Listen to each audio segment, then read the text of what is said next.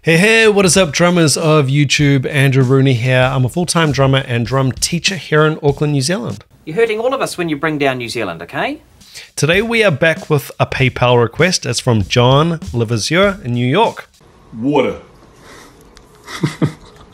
Dog. Coffee.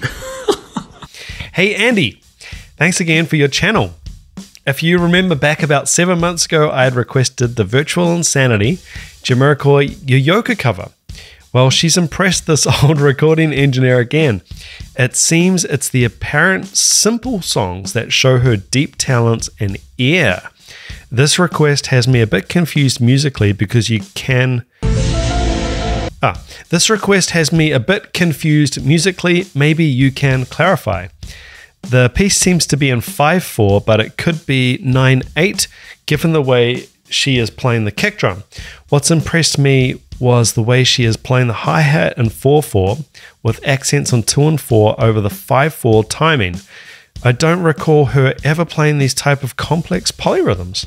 It sounds like a simple song, but this type of composition is quite difficult for most drummers I have encountered. By the way, this is the best recording quality she has made to date. Your Tom envy is about to explode. The song is Sting's seven oh seven days. Thanks for your great insights into drumming for students of the art. John Levasseur, New York. John, I can tell you that the original drummer on this recording, on this album, was the one and only Vinnie Colaiuta. Absolute magician. So, yeah, I mean, Yoyoka's taken on some big drummers and she's always done incredibly well. So, this one's going to be absolutely fascinating. Thank you so much for the pick. Let's check it out.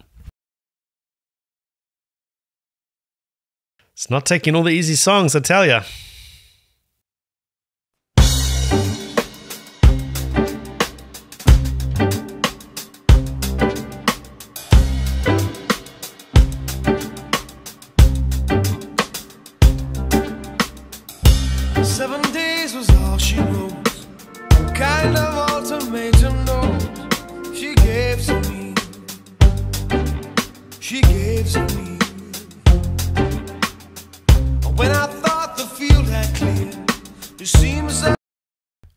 Is so genius about this groove? And you're absolutely right, John. This is in 5 4 time uh, signature, which means basically instead of counting to four, you count to five to resolve the pattern. What is so genius about this groove, uh, probably talking about the original uh, groove composition here by Vinny, is the accent placement. It makes it all feel very natural. Um, normally, when people play an odd time signatures like 7 4, 5 4, it really feels like 5 4 or 7 4. It feels really angular and awkward. This feels completely smooth and natural. So, this is just part of the Vinny genius and part of the Sting genius and part of the Yoyoka genius for covering it so well and uh, playing the groove completely naturally like it was the easiest thing in the world, which it is not. Suit appeared to challenge me. Woe is me. Though I had to make a choice, my options are decreasing mostly rapidly. Well, we'll see. I don't think she'd bluff this time. I really have to make a mind. It's plain to see. It's him or me.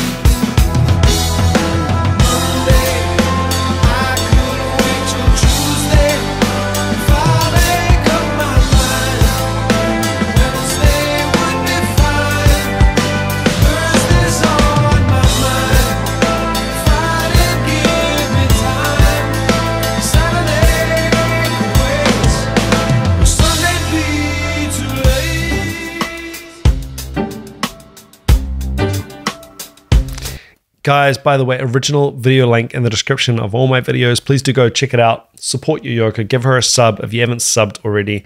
Phenomenal drummer. Plenty of awesome stuff to get your teeth into over on her channel. The way she exploded into that chorus, just unbelievable. And then we're just straight back to business on this incredible, smooth, yet difficult verse part. Also, if you are here for a bit more analysis, I will break down some of the accents that are going on at the end of this video. So stick with me and we will chat about accents. Let's just uh, keep this going for now.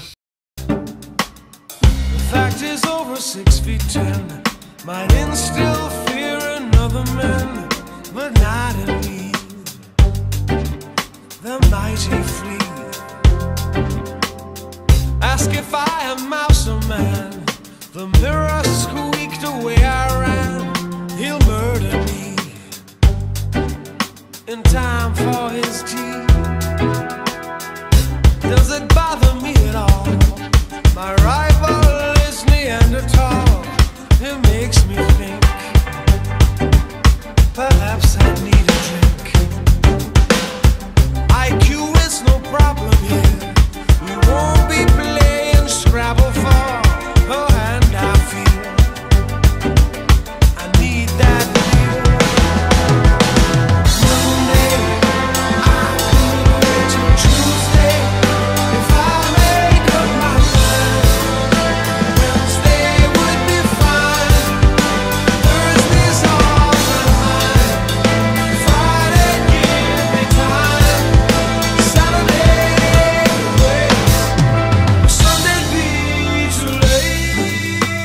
100% correct, uh, John. I do have some further Tom envy going on here.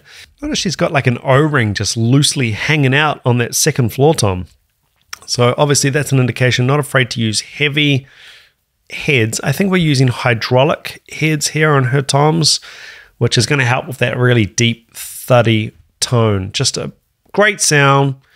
And I understand she does all of this herself, records herself, obviously learns the songs, records herself, mixes herself. It's just absolutely phenomenal. And if this doesn't inspire you and make you want to go practice and record a cover, I want to go record this cover now. I've never learned the song. I, I need to go learn this.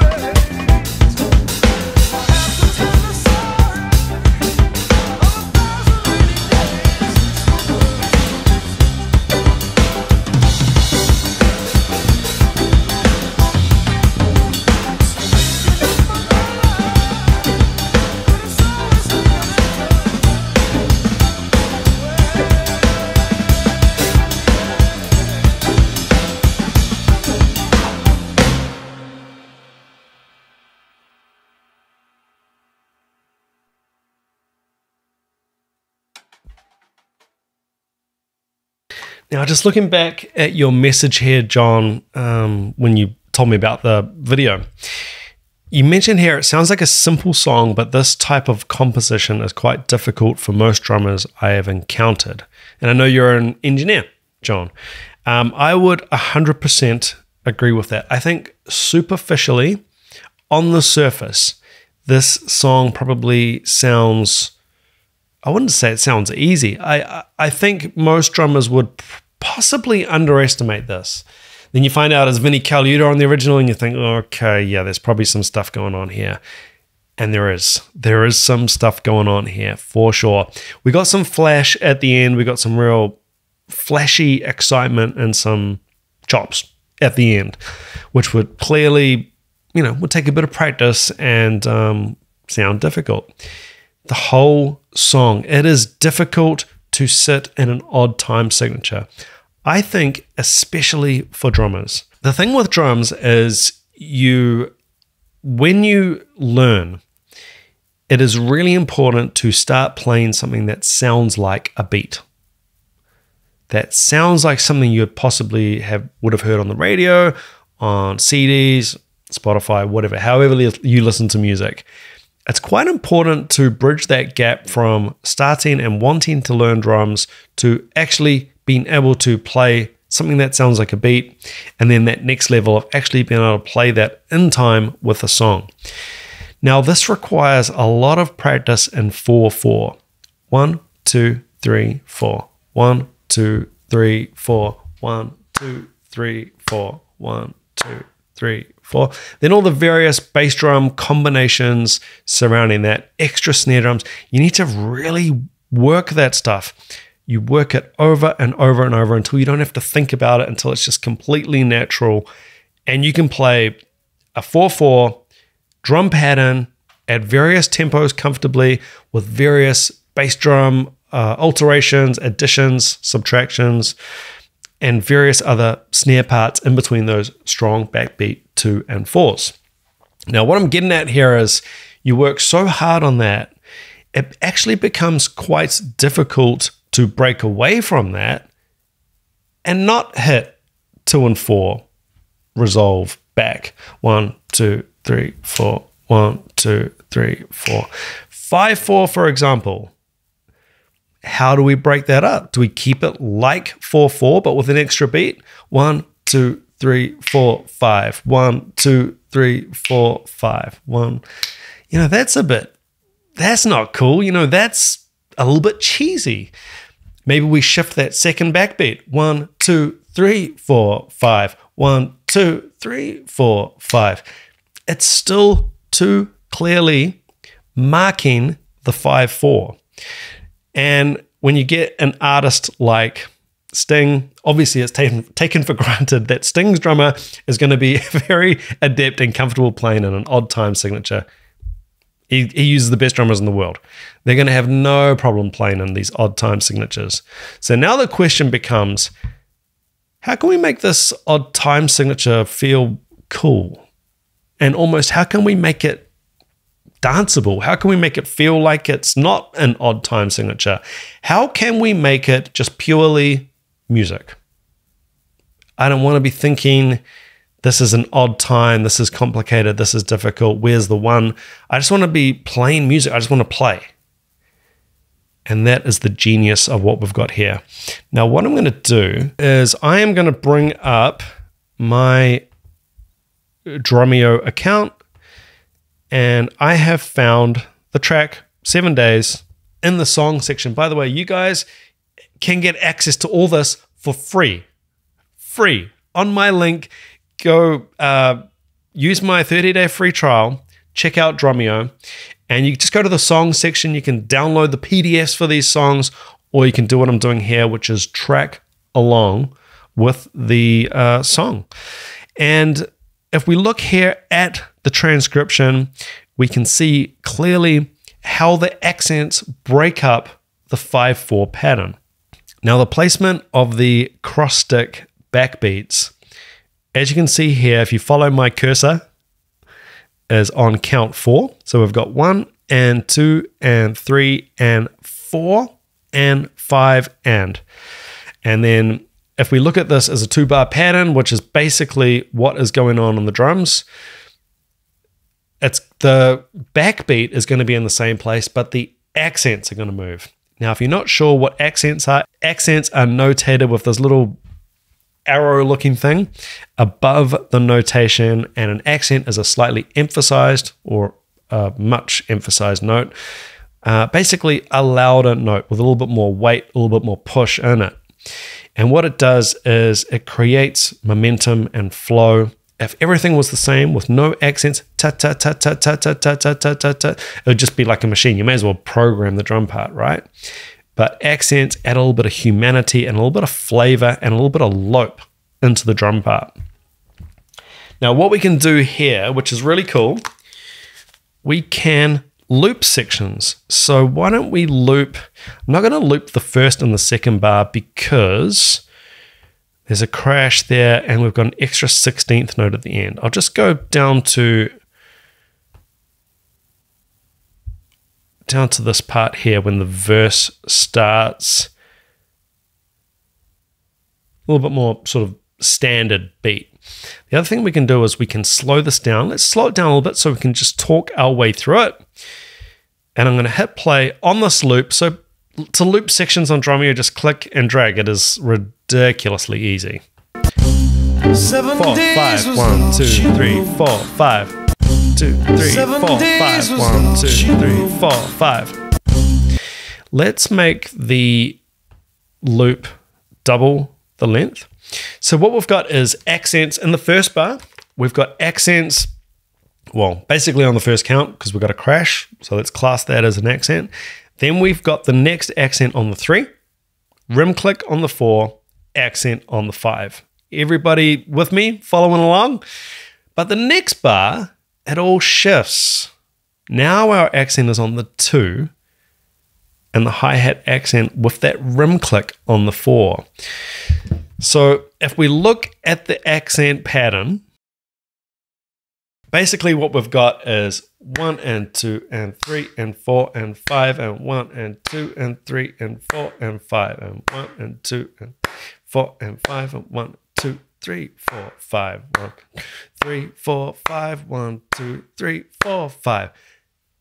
Evenly spaced accents, which make the beat smooth, which is genius. Genius. Vinny Colaiuta, thank you for all you've done for drumming and all you've done for music. You want to study a drummer out there? Study Vinny. He's played on 50,000 million albums, so you can choose whichever one you want. Genius. Absolute genius. Let's listen to what he is doing here. So, this is not the Yoka cover. Obviously, this is Vinny's original drum part. Seven days was all she wrote. One, two, three, four, five. One, two, three, four, five.